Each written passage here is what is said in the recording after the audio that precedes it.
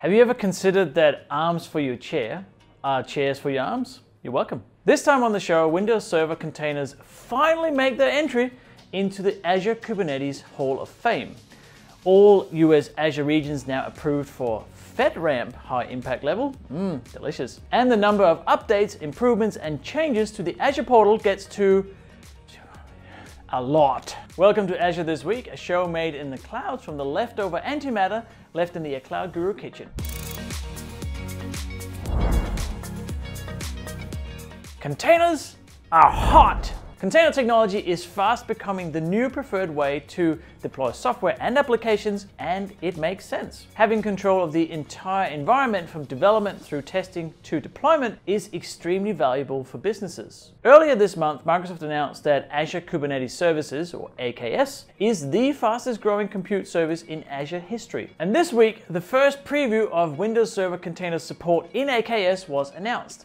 In practical terms, this means you can manage Windows and Linux containers side by side in the same Kubernetes cluster with the exact same APIs, tools, and support. You also get integration with the DevOps pipeline, so you can take advantage of completely standardized pipeline. Check out the preview of Windows Server on Kubernetes today.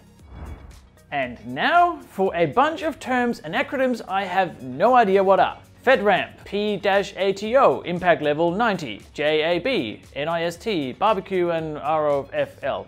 All US-based Azure regions are now approved for FedRAMP high impact level. Yes, I didn't know what this meant either, but in the TLDR sense, it means that Azure can now provide services to federal US agencies and other bodies requiring this level of standard for assessing, monitoring and authorizing cloud computing products and services. FedRAMP is the US Federal Risk and Authorization Management Program. It is a big deal for the many companies and agencies that rely on this standard to adopt cloud services. Currently, 91 Azure services including Migrate, Security Center, FileSync and most compute ones uh, are supported.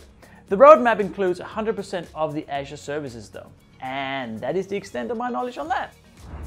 I have covered the portal before, but it changes so often, I could do a whole show on it. Azure Portal this week. The May updates for the portal include some interesting improvements and additions. First of all, the simplest of things. If you have used the portal for any length of time and tried to open links in new tabs, you'd felt the pain the pain of broken tabs. Well, the team listened to our cries of pain and you can now open many portal links in new browser tabs and it will work. I know! Some services, including Azure Containers, have received a full screen wizard experience with tabbed flow that makes my OCD happy.